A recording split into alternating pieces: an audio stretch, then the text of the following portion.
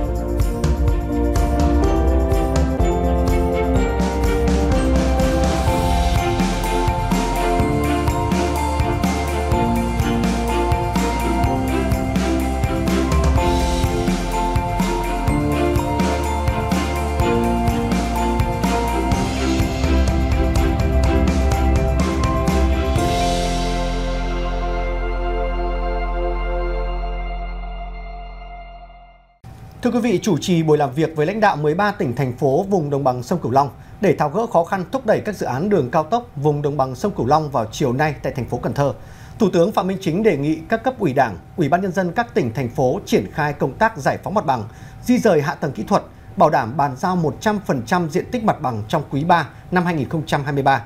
chậm nhất trước ngày 31 tháng 12 năm 2023. Đồng bằng sông Cửu Long là địa bàn chiến lược đặc biệt quan trọng về chính trị, kinh tế, xã hội, an ninh quốc phòng, ngoại giao của cả nước, là vùng cực Nam, thành đồng của Tổ quốc, cửa ngõ phía Tây Nam của quốc gia. Những năm qua, đồng bằng sông Cửu Long còn những khó khăn thách thức, chưa phát huy được hết tiềm năng thế mạnh. Trong đó có nguyên nhân do kết cấu hạ tầng chưa đồng bộ và việc huy động sử dụng nguồn lực cho phát triển còn hạn chế, trong đó có nguồn vốn ODA. Thời gian qua, đồng bằng sông Cửu Long đã khởi công đồng loạt các dự án đường cao tốc, đồng thời đẩy mạnh các dự án đã khởi công trước đây. Đến thời điểm hiện nay, vùng đồng bằng sông Cửu Long đã hoàn thành và đưa vào khai thác theo quy mô phân kỳ giai đoạn 1 với tổng chiều dài 171 km, 8 dự án đang được triển khai, hướng đến mục tiêu đến năm 2026, khu vực đồng bằng sông Cửu Long sẽ có khoảng 554 km đường cao tốc. Tuy nhiên, việc triển khai các dự án giao thông tại đồng bằng sông Cửu Long còn gặp khó khăn do giải phóng mặt bằng, nguồn vật liệu san lấp đắp nền đường, công tác quản lý dự án, năng lực của nhà thầu, tư vấn, thủ tục giải ngân, điều kiện thi công phức tạp. Để đẩy nhanh tiến độ triển khai các dự án, giải quyết các khó khăn vướng mắc, Thủ tướng Phạm Minh Chính đề nghị các bộ, Bộ Kế hoạch và Đầu tư, Bộ Tài chính, Bộ Xây dựng, Bộ Tài nguyên Môi trường, đặc biệt là Bộ Giao thông Vận tải và các tỉnh thành phố được giao làm cơ quan chủ quản dự án, tập trung quyết liệt chỉ đạo, yêu cầu ban quản lý dự án, tư vấn giám sát và các nhà thầu phải phát huy tinh thần trách nhiệm cao nhất, triển khai các dự án bảo đảm tiến độ, chất lượng, an toàn, kỹ thuật, mỹ thuật, giữ gìn vệ sinh môi trường, huy động nhân lực thiết bị máy móc hiện đại để thi công một cách nhanh nhất có thể, tuân thủ tuyệt đối những yêu cầu kỹ thuật, quy định của pháp luật liên quan. Thủ tướng yêu cầu người đứng đầu cần bám sát thực tiễn, bám sát dự án, quyết liệt trong điều hành, quản lý chất lượng, tiến độ, vốn đầu tư. Trong suốt quá trình thực hiện dự án, bảo đảm các dự án hoàn thành đúng tiến độ và chất lượng yêu cầu, không đội vốn. Cùng với đó là các nhà thầu khẩn trương huy động nhân lực phương tiện thi công, bảo đảm tiến độ, hiệu quả, an toàn, kỹ, mỹ thuật. Các đơn vị tư vấn nâng cao trách nhiệm, làm việc chuyên nghiệp, độc lập, thường xuyên kiểm tra giám sát, bảo đảm an toàn chất lượng, tiến độ, tuyệt đối không vì lợi ích cá nhân, không hạ thấp tiêu chuẩn, hạ thấp giám sát, tích cực phòng chống tham nhũng, tiêu cực, lãng phí. Một là tiếp tục hoàn thiện các cái thủ tục để mà đầu tư theo cái quy định của pháp luật. Cái thứ hai là tiếp tục giải phóng mặt bằng cái số mặt bằng còn lại trong cái quý 3 này và tái định cư cho người dân thật tốt, đảm bảo nơi ở mới thì ít nhất bằng hoặc là hơn cái nơi ở cũ và đảm bảo quyền và lợi ích hợp pháp chính đáng của họ theo pháp luật rồi uh, di rời các cái công trình kỹ thuật để mà có cái mặt bằng thi công phải đảm bảo tiến độ, nhưng mà đảm bảo chất lượng, vệ sinh môi trường, rồi kỹ mỹ thuật, rồi vấn đề cảnh quan. Và đặc biệt là không để đội giá một cách nó vô lý. Rồi ờ, chống cái tiêu cực tham nhũng ở đây. Rồi nguyên vật liệu thì giao trực tiếp cho nhà đầu tư, cho nhà thầu, tránh cái việc giao cho tư nhân, rồi để găm hàng đội giá. Đối với các dự án như cao tốc Cao Lãnh, An Hữu, cao tốc đoạn Cần Thơ, Cà Mau, các dự án thành phần thuộc cao tốc Châu Đốc, Cần Thơ, Sóc Trăng, Thủ tướng Phạm Minh Chính cũng đã giao nhiệm vụ cụ thể cho từng bộ ngành có liên quan và các địa phương có dự án đi qua, với tinh thần đổi mới tư duy sáng tạo hơn nữa trong cách nghĩ, cách làm, để hoàn thành tốt nhiệm vụ góp phần triển khai các dự án thành phần đúng tiến độ, chất lượng, không lãng phí, không tiêu cực, với tinh thần tất cả vì nhân dân, vì sự hùng cường, thịnh vượng của đất nước. Về vấn đề tìm giải pháp tháo gỡ khó khăn, thúc đẩy triển khai vốn ODA vùng đồng bằng sông Cửu Long, Thủ tướng Phạm Minh Chính yêu cầu Bộ Kế hoạch và Đầu tư chủ trì phối hợp với Bộ Tài chính và các cơ quan liên quan, các địa phương giả soát trao đổi với các đối tác, đơn giản hóa, hài hòa các quy trình, thủ tục theo yêu cầu của nhà tài trợ và các quy định của pháp luật Việt Nam.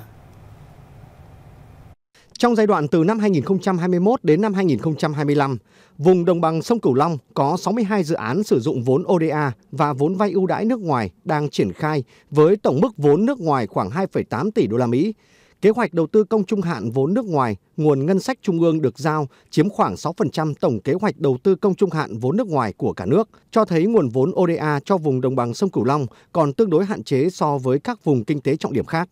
Bên cạnh đó, giải ngân vốn đầu tư công, vốn ODA của vùng đồng bằng sông Cửu Long còn thấp. Hết tháng 6 năm 2023, giải ngân vốn trong nước mới đạt trên 36%, giải ngân vốn nước ngoài trên 5,34%.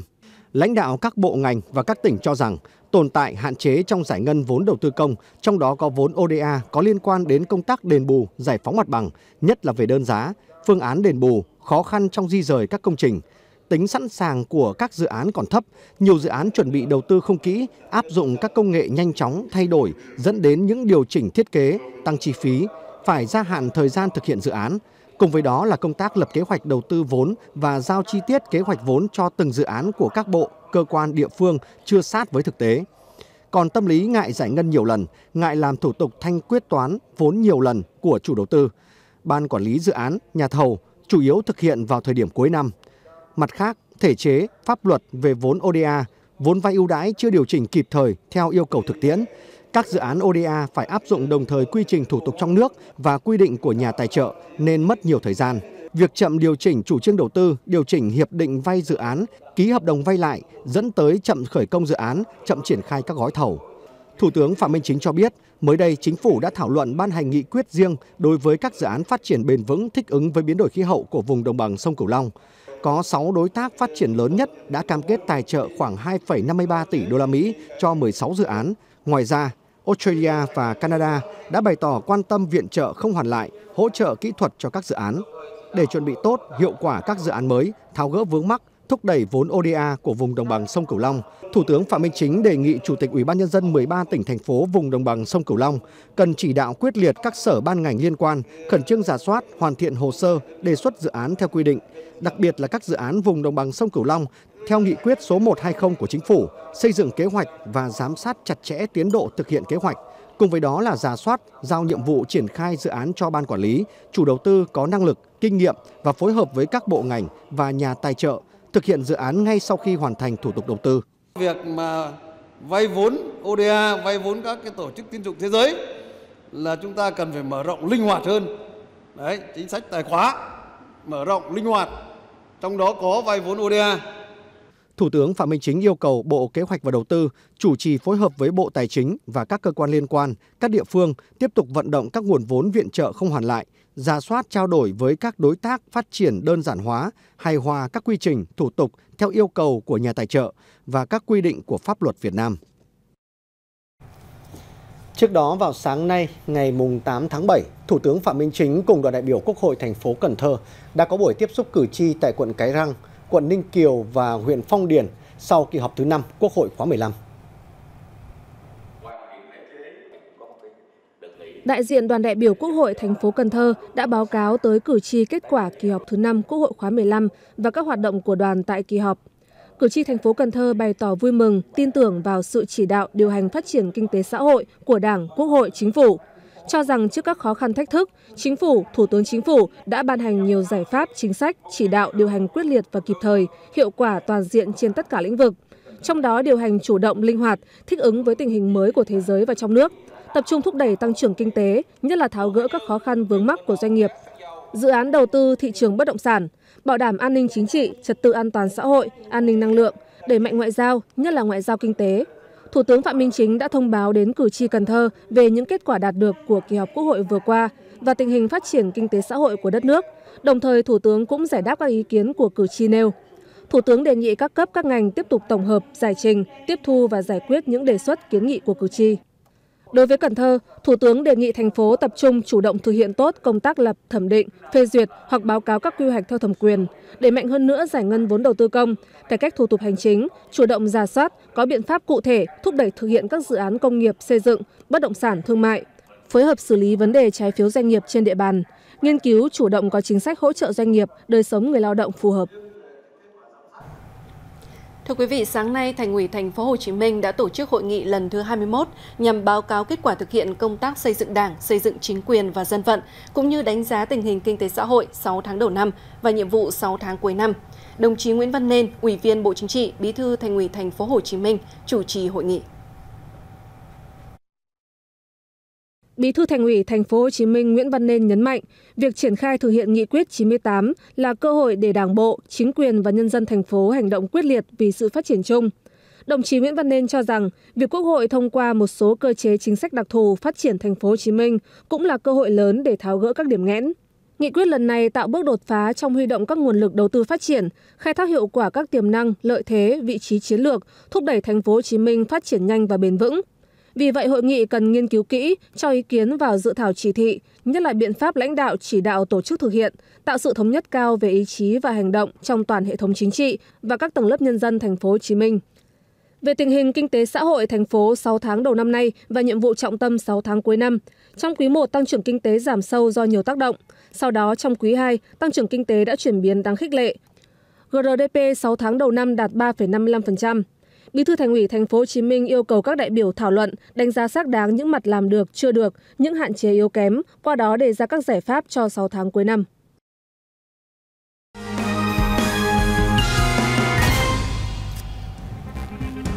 Tiếp nối chương trình, hiểu đúng về đấu giá biển số xe ô tô.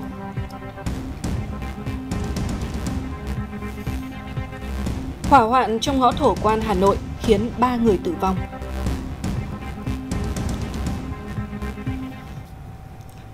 Thưa quý vị, theo đánh giá của chuyên gia, thị trường bất động sản công nghiệp tiếp tục là điểm sáng của thị trường bất động sản Việt Nam trong nửa đầu năm nay, với tỷ lệ hấp thụ ghi nhận khả quan ở cả đất công nghiệp, nhà xưởng và nhà kho xây sẵn cả miền Bắc và miền Nam. Đối với thị trường đất công nghiệp diện tích hấp thụ trong 6 tháng đầu năm của các thị trường cấp 1 miền Bắc và miền Nam lần lượt đạt 386 ha và 397 ha. Giá thuê trung bình cho thị trường cấp 1 ở miền Bắc và miền Nam lần lượt ở ngưỡng 127 đô la Mỹ và 187 đô la Mỹ một mét vuông kỳ hạn còn lại. Trong 4 năm qua, trung bình giá thuê tăng 7% một năm ở miền Bắc và 13% một năm ở miền Nam. Dự kiến ngành công nghiệp và sản xuất sẽ dẫn đầu trong thu hút dòng vốn ngoại với sự quan tâm của nhà đầu tư nước ngoài về đất công nghiệp và nguồn cung xây sẵn chất lượng cao. Thưa quý vị, số liệu mới công bố từ Ngân hàng Nhà nước cho thấy dòng tiền từ dân cư tiếp tục đổ về các tổ chức tín dụng. Tính đến cuối tháng 4 vừa qua, lượng tiền gửi của dân cư tại các tổ chức tín dụng đạt hơn 6,3 triệu tỷ đồng, tăng gần 8% so với cuối năm ngoái. Tháng 4 cũng đánh dấu là tháng thứ tư liên tiếp ghi nhận mức tăng tiền gửi của dân cư tại ngân hàng, tăng đến 52.000 tỷ đồng so với tháng 3. Ở chiều ngược lại, tiền gửi của các tổ chức kinh tế tại ngân hàng lại có xu hướng giảm sâu, giảm hơn 330.000 tỷ đồng trong 2 tháng đầu năm, và đến tháng 3 có tăng trở lại, song không giữ được đà tăng này. Theo báo cáo của Thanh tra Bộ Tài chính, trong 6 tháng đầu năm, Thanh tra Bộ và các đơn vị đã thực hiện hơn 31.000 cuộc thanh tra kiểm tra.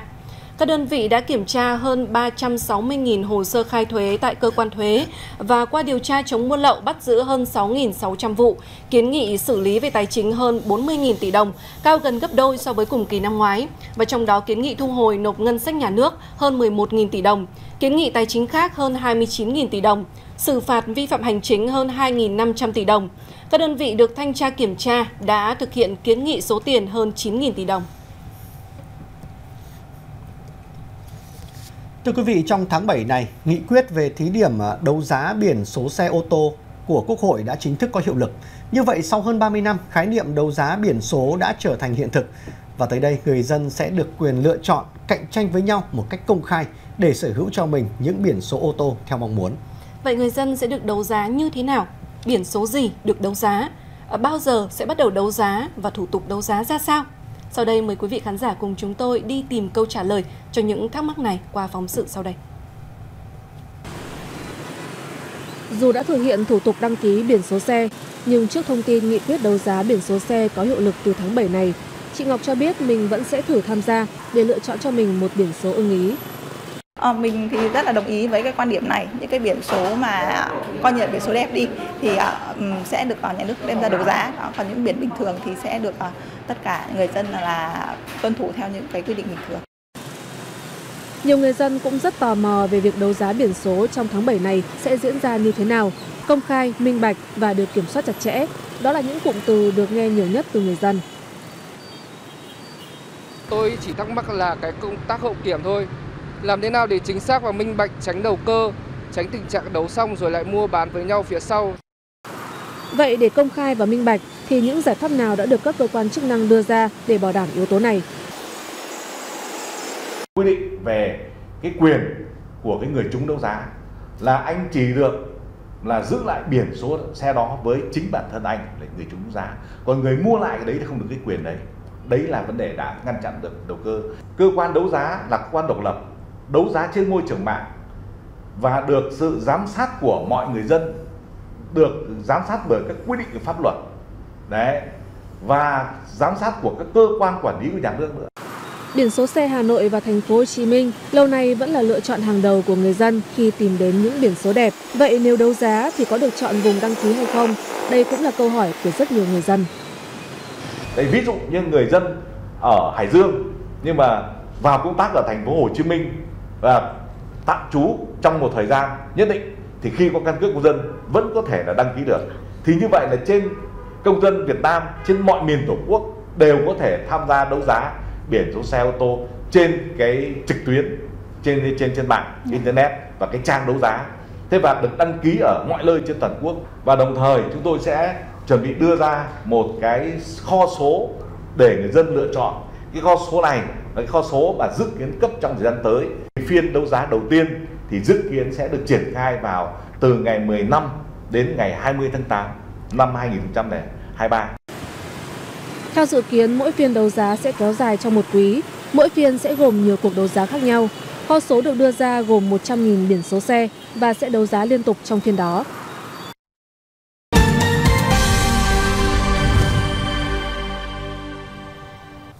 Thưa quý vị, sáng nay Đảng ủy Bộ Tư lệnh Cảnh sát biển đã tổ chức hội nghị sơ kết công tác cảnh sát biển 6 tháng đầu năm 2023. 6 tháng đầu năm, lực lượng cảnh sát biển chủ động nắm chắc tình hình, kịp thời tham mưu với Quân ủy Trung ương, Bộ Quốc phòng, xử lý các tình huống trong bảo vệ chủ quyền, an ninh quốc gia, phòng chống tội phạm, vi phạm pháp luật theo đúng chủ trương, đối sách, không để bị động, bất ngờ. Bắt giữ điều tra xử lý 829 vụ với 991 đối tượng tội phạm vi phạm pháp luật. Tổng số tiền xử phạt vi phạm hành chính và giá trị tăng vật ước tính khoảng 50 tỷ đồng. Phối hợp với 28 tỉnh thành phố ven biển tăng cường tuần tra, kiểm soát, phòng chống khai thác IUU, chủ động tìm kiếm cứu hộ cứu nạn trên biển. Trong thời gian tới, lực lượng cảnh sát biển tập trung lãnh đạo, chỉ đạo duy trì nghiêm các chế độ trực, ứng phó với các thách thức an ninh phi truyền thống, kịp thời tham mưu xử lý đúng, trúng hiệu quả các tình huống trên biển, Cùng với việc thực hiện hiệu quả công tác xây dựng, chỉnh đốn đảng, lực lượng cảnh sát biển cần làm tốt công tác quản lý tư tưởng, bảo vệ chính trị nội bộ, nền tảng tư tưởng của đảng, đổi mới phương thức giáo dục chính trị phù hợp với đặc thù nhiệm vụ đi biển dài ngày, tiếp tục triển khai hiệu quả chương trình công tác dân vận, cảnh sát biển đồng hành với ngư dân. Thưa quý vị, dạng sáng nay ngày 8 tháng 7, một vụ cháy lớn đã xảy ra tại ngôi nhà số 12, ngõ Thổ Quan, phố Khâm Thiên, quận Đống Đa, thành phố Hà Nội. Đây là khu vực ngõ nhỏ nên công tác chữa cháy gặp rất nhiều khó khăn. Vụ cháy đã khiến cho 3 người tử vong. Theo các nhân chứng là người dân sống tại phố Khâm Thiên, vụ cháy tại nhà số 12 ngõ Thổ Quan xảy ra vào khoảng 5 giờ sáng ngày 8 tháng 7. Lửa bùng lên từ tầng 1 của ngôi nhà, sau đó lan lên các tầng. Khói tỏa mùi khét lẹt tràn ra phố Khâm Thiên. Vào thời điểm sự việc xảy ra, bên trong ngôi nhà vẫn còn có 3 người bị mắc kẹt. Người dân đi tập thể dục à, phát hiện ra đám cháy thì có hô hào và ném báo hiệu cho gia đình biết và hàng xóm biết. Nhưng vì trong gia đình là đóng kín cửa cháu các cháu lại bé nên là không phát hiện ra. Do ngõ nhỏ xe cứu hỏa phải đậu ngoài phố khâm thiên sau đó dẫn ống nước vào dập lửa. Cơ quan chức năng xác định khu vực xảy ra cháy là nhà ở kết hợp với kinh doanh dịch vụ làm móng chân móng tay cảnh sát đã phải phá cửa, dẫn ống nước vào, đồng thời phá các cửa sổ tiếp cận tầng trên để tìm kiếm nạn nhân. Tới 11 giờ cùng ngày, công tác tìm kiếm cứu hộ cứu nạn đã kết thúc. Thông tin ban đầu ba người trong nhà đều tử vong, trong đó xác định có một bé trai 13 tuổi, bé gái 11 tuổi và chị họ 19 tuổi. Hiện nguyên nhân vụ cháy vẫn đang được điều tra làm rõ. Thưa quý vị, Phòng Cảnh sát Giao thông Công an tỉnh Lâm Đồng cho biết, vào khoảng 3 giờ 47 phút dạng sáng ngày hôm nay, tại quốc lộ số 20 thuộc địa phận thôn Hiệp Thuận, xã Ninh Gia, huyện Đức Trọng, tỉnh Lâm Đồng đã xảy ra một vụ tai nạn giao thông nghiêm trọng khiến nhiều người thương vong.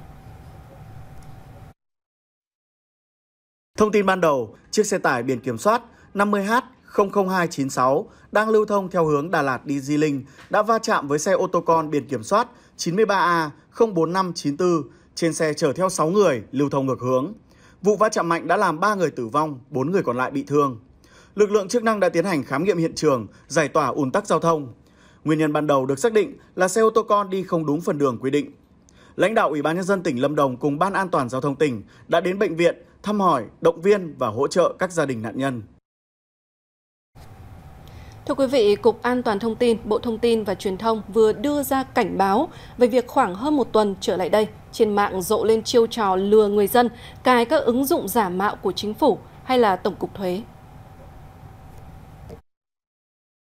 Theo đại diện Cục An toàn Thông tin Bộ Thông tin và Truyền thông, sau khi lừa người dùng tải và cấp quyền cho ứng dụng giả mạo, các đối tượng lừa đảo sẽ đánh cắp thông tin đăng nhập tài khoản ngân hàng và có thể chiếm quyền kiểm soát điện thoại của nạn nhân. Nhóm đối tượng lừa đảo đã sử dụng 195 hệ thống khác nhau để lừa đảo. Các chuyên gia Cục An toàn Thông tin khuyến nghị người dùng không tải ứng dụng lạ, luôn kiểm chứng qua các kênh chính thống bằng cách gọi điện thoại tới sở thuế hoặc cơ quan công an trên địa bàn. Khi có nhu cầu sử dụng các ứng dụng, người dân chỉ nên tải ứng dụng trên các kho ứng dụng uy tín và tuyệt đối không được cấp cho ứng dụng toàn quyền điều khiển thiết bị.